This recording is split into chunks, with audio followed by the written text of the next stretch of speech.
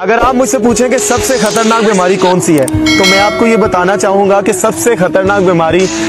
दिल की बीमारी है। क्योंकि दिल की बीमारी में जब आपको किसी की याद का कैंसर होता है ना तो ये आप